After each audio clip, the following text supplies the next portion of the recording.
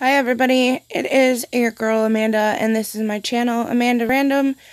And I decided we were going to get into um, finally getting this greeting card Christmas junk journal thing going. Um, so I decided I would start the cover. And since I ripped it or cut through it with my X-Acto blade um, I'm just using some duct tape. It's going to be covered anyway, so any kind of duct tape would work for this. I just kind of want to reinforce um, the spine. So, without sticking the duct tape to everything, that's what I'm doing. I'm just adding pieces of duct tape and uh, making sure that that's just a little sturdier. I kind of rushed through this video and decided I would just do the voiceover for it. Um, my dogs were going crazy and barking and yeah, and such is life. So, I'm just kind of making sure that tape gets in the creases of the spine and where the book folds. Uh, that's just a little piece of washi that I threw in the middle to cover um, where I had gone through it. And this is Aleene's Turbo Tacky Glue. I love this stuff.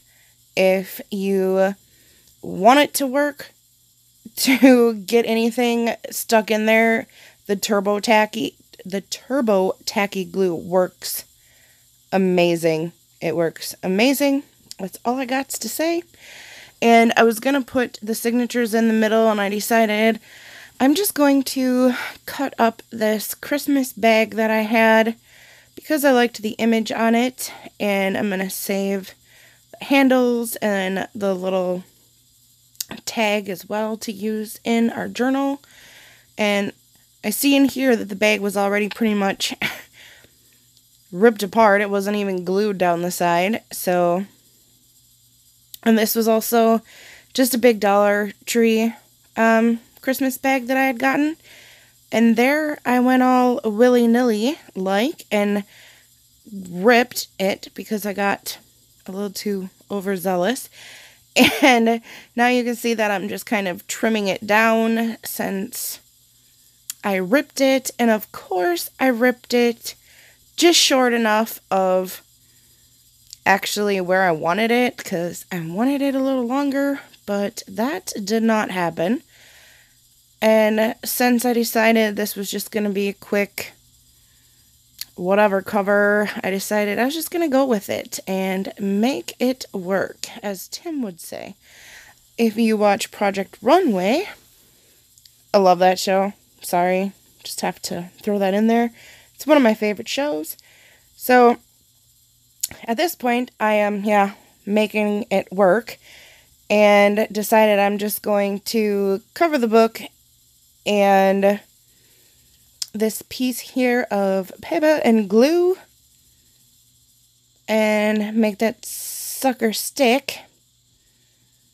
Uh, this part you want to be you want to be pretty generous with the glue um, when you're just I found that I could even use glue sticks and it would work but because I used the shiny duct tape and whatnot and I had the turbo tacky glue out on my desk because that's what I'm going to use to fill up the spine to stick the signatures inside the book.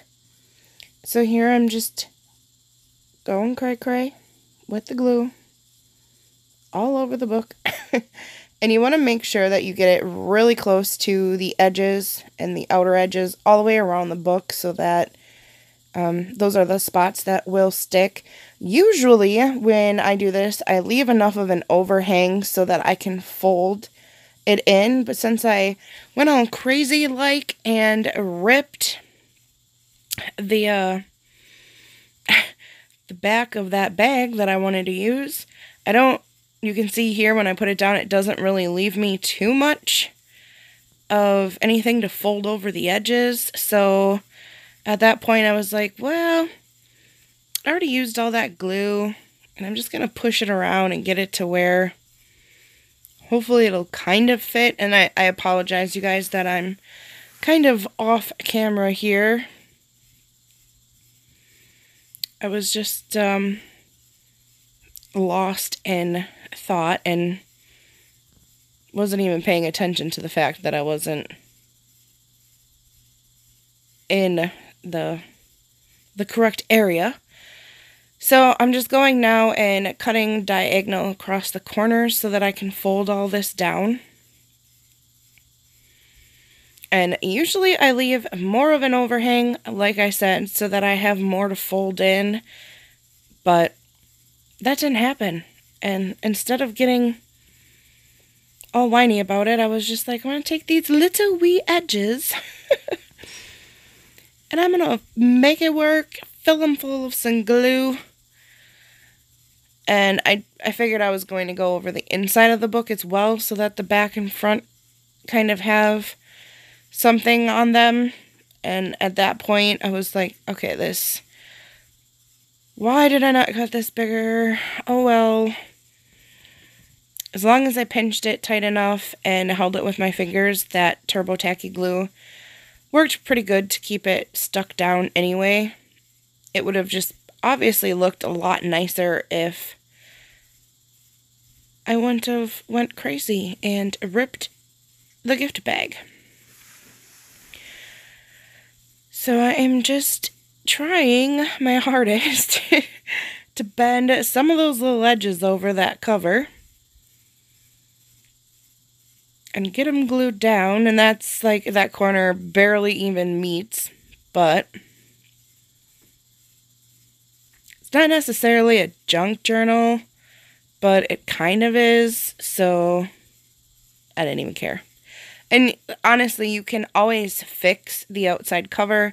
Um, you can add more to it. You could redo it. You can, you know, there's so many different things you can do that just because something, one thing goes wrong, don't just give up. Keep going. There's all kinds of different things that you can do to make it work better or, you know, maybe even turn out better than you had imagined. So, that's what I was hoping at this point. Maybe it'll just turn out better than what I'm thinking it will.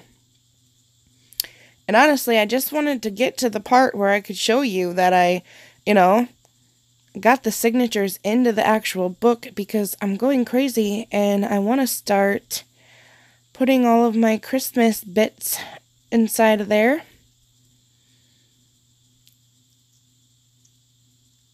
So I thought I sped this video up enough that it wouldn't take nine hours to watch me get mad and fold pieces of glued paper, but apparently I didn't speed it up enough. so I'm just pushing that down, making sure that it really, really sticks. Um, and then I decided, you know what, I have that bag that I ripped up and obviously there's a front and a back to the bag. So I decided I was just going to cut the back part of the bag up as well and put that down on the inside just to cover um, cover the inside of the book. I really like the little cardinal. He's really super cute.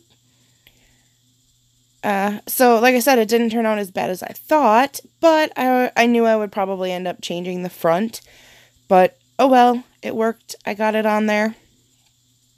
Right here, um, I'm actually, I cut the back part of the bag out and I'm just kind of measuring where the book starts and ends. So I had an idea because I wanted to cut these individually instead of gluing over the middle of the spine. I just wanted to cut um, basically the rectangle out for each each side of the book on the inside just to get it put down and of course, like, you know, kindergarten cutting abilities here. And I decided I was going to use my trusted little glue stick and just get that in there. And I didn't measure or cut like 100% appropriate or, you know, exact. So my plan was just to stick it on there and trim around the edges if I needed to. And that is exactly what I'm doing. Like, is that cardinal?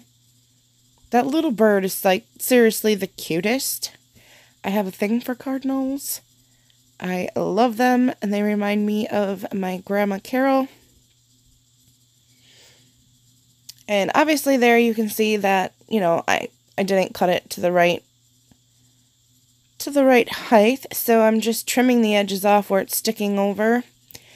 And like I said, you can go over these edges with washi tape. You can use you can use anything you want to make them look better if you want. Um, and if you don't like the way it's turning out, you can go over the whole entire thing with duct tape. Honestly, it really doesn't matter. I just decided I didn't want to waste the rest of the bag, so while we were on camera, I was going to just glue the inside in because it is actually really cute. Um, the other thing is, my book cover is quite a bit longer than what um, the length of my cards are. So there's there's a good, I don't know, maybe half an inch at the top of the book and at the bottom of the book where it'll hang over. I hope that's making sense. It, it'll just be up a little higher than what my cards will be in the middle. So I'm probably gonna do something to cover obviously that little that little washi piece in the middle. And I might poke a hole through there or something to hang something from the sides. I haven't decided yet. Like I said, when you're making these, there's I don't really consider any mistake a total mistake or a loss because there's just so many different things you can do. Um, to fix it or change it or, you know, make it better.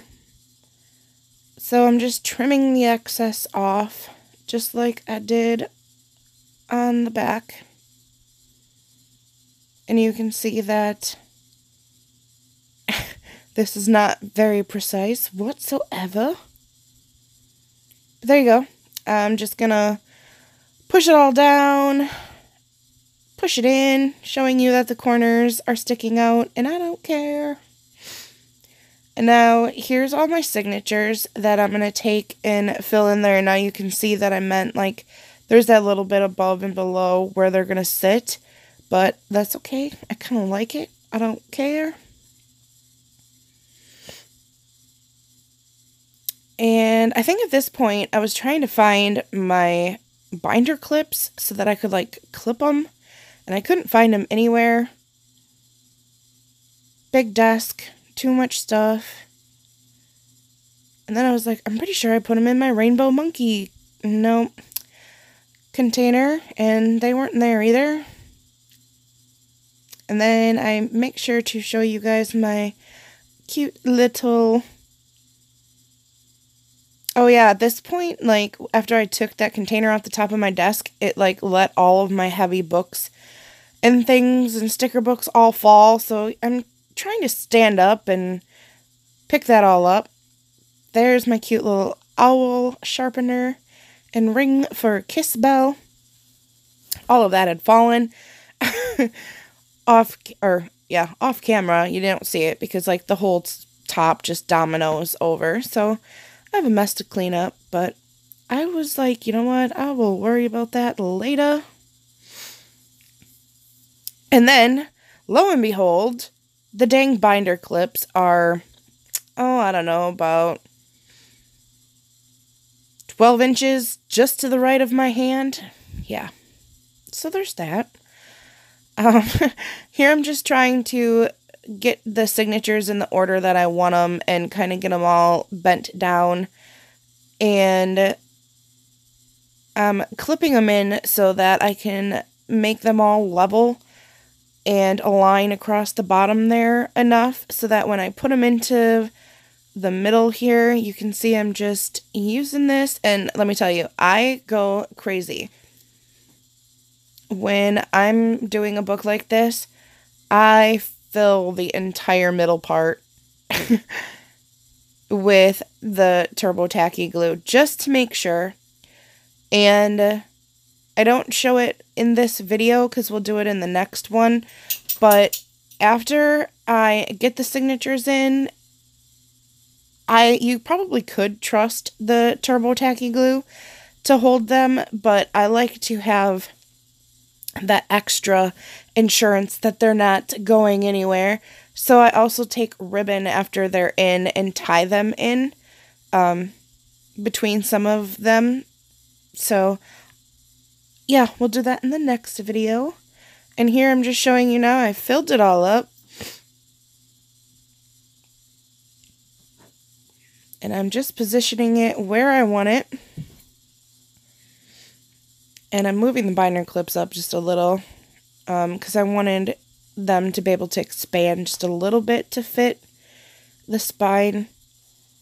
And then once I got them in there where I wanted them, I just closed them around the book. And you can see down there, if I if I hold it to the camera collect, correctly anyway, you can see, um, you just want to leave it sit up on its end like that so it all just sits and um, it glues rather fast, but I usually do this process and then leave it sit overnight. And then I come back and tie in ribbons or, you know, anything like that that you want to use to fix it. Or just to, I don't even want to say fix it, just to make sure that they stay in there. So you just want to push those signatures down into the spine a little. You can't really see, but that's what I'm doing right there. And I'm looking at my very not so handy scissor work. but like I said, you can fix all of that stuff. So I couldn't find a binder clip, so I had to pause the video and I took one off the inside and I'm just pushing those straight down in to the crease of the book down there and molding it kind of to you know the the spine of the book. And now that I have it binder clipped I'm just gonna leave it sit and that's gonna be the end of this video